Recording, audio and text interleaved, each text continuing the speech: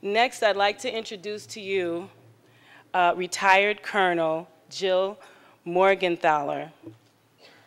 I had the opportunity to hear her speak a few weeks ago at Benedictine University, and it was totally fantastic, so you guys are absolutely in for a treat. And I'm excited to hear it again. Retired Colonel Jill Morgenthaler a woman of, is a woman of many firsts. She was the first woman to enter ROTC and train as an equal with men. She was the first woman battalion commander in the 88th Regional Support Command. She was the first woman brigade commander in the 84th Division. She was the first woman Homeland Security Advisor for the state of Illinois. The colonel handled disaster recovery during the San Francisco earthquake and worked as a peacekeeper in Bosnia and sheltered Kosovar refugees. Her performance in Iraq, for her performance in Iraq, I'm sorry, in 2004, she received a Bronze Star. Upon retirement, the Army awarded her the Legion of Merit. And, and I, I looked that up. So she for her service, um, excellent, on top of her excellence of service, it was extraordinary and excellent and meritorious. And I just think that that's phenomenal. First woman. Um, she is a motivational speaker, thrilling audiences with her presentation, Women, Winning at Work, 21 Secrets to Lead and Succeed, and conducting workshops, Leading from the Front. You can, and I'll stop there. um, but anyway, without further ado, I'm so excited for you guys. You're in for a treat. Reverend Colonel.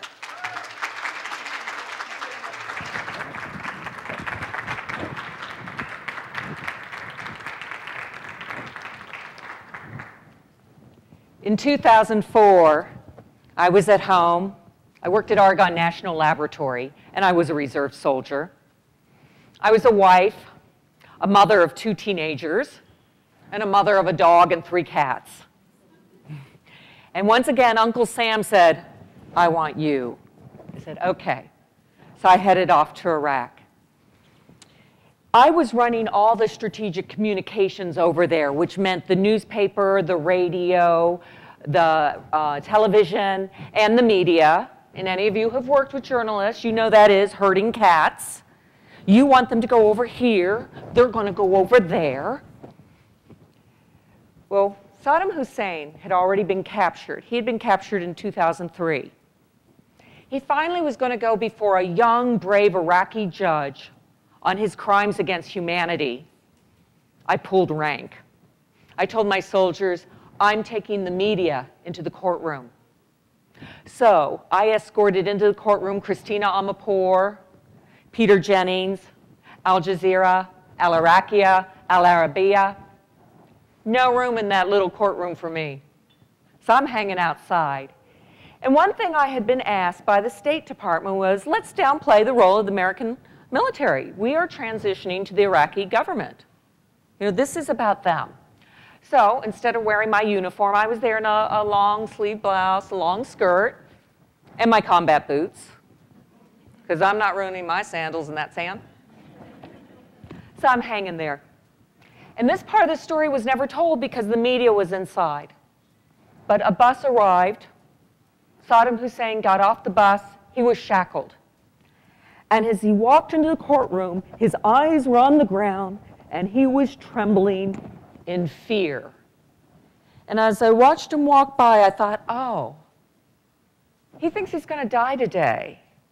He thinks he's going to have his hearing, get his sentence, and be executed because that's what he did. Wow, this is going to get interesting. Welcome to real justice. So he's in the courtroom, I'm outside. Eventually, he realized he wasn't going to die that day. And he started threatening that brave Iraqi judge. He started threatening that judge's family, everybody in the room, what he was going to do when he was back in rightful power.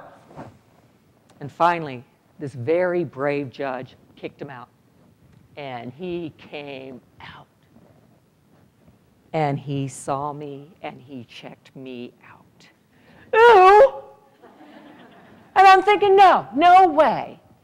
And I'm remembering my sister in law and my nieces in Kuwait, Figan, Azra, and Letitia, and how they used to have to hide when the Iraqi soldiers came through during the Kuwaiti War.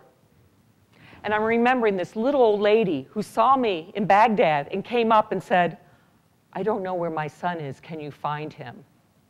And I couldn't. And I remember the young women in Iraq who hid because of Saddam Hussein and his sons, because otherwise they could have been dragged off the streets. And I thought, no way, dude, are you checking me out. So I start staring right back at him. And I remember what General Sanchez said. General Sanchez said when he had looked into the eyes of Saddam Hussein, he saw pure evil. So I'm looking, I'm staring at him. I don't know what pure evil looks like. So I'm looking, and he's staring at me, and I'm staring at him, and he's staring at me, and I'm staring at him, and I'm thinking, no way am I backing off. And so we do this back, forth, back, forth. And finally, he barks out this command in Arabic. The guards burst out laughing and take him away. I said to this other guy, Whoa, whoa, whoa. What did he say? Kill her. Excuse me. He used to kill people for staring at him. And on behalf of all women, we have so much to offer. I'm very glad in my belief system of knowing where he is, and I am thrilled to be with all of you today. So let's talk about the feminine leader. You heard how I was the, one of the first women in ROTC when we trained as equal with men. It was actually an experiment. I was at college at Penn State. And what happened is 1972, Vietnam War was coming to an end. They got rid of the draft no men were jo joining. So the government went, oh my gosh, I guess we better let women in as equals. I'm the daughter of a Marine. I watched my father live this adventurous life, save lives, see the world. Hey, sign me up, I'm ready. What they forgot to say was Uncle Sam wanted me. The men did not. No, they saw our presence, our presence as equals as the end of the military and the strength of America. The presence of women as equal would undermine the military, would weaken the military, would sissify the military, and the evil Soviet Union will triumph. Because women are equals. Oh, come on, guys. Seriously. So there I was at college. During your junior year, after your junior year, you go to officer boot camp. So I arrived there. I'm ready to show them. I'm the daughter of a Marine. I can do this. I grew up playing war in the Red Hills of Virginia. I'm ready. Bring it on. The best thing about that summer is I taught them about feminine strength. I caught them unaware. I also was clueless that I was teaching them, but I did. I was treated, there was only 83 women, by the way, over 500 men on a military base of, I don't know, 20, 30,000 men. And they were. These men were determined to break us down, make us quit, make us cry. And they called me the weakest link. They called me the girl. They called me the little guy. I'm not a little guy. Right then, I knew their logic was a little flawed, but okay. I'm not taking what you're calling me. I'm not accepting it.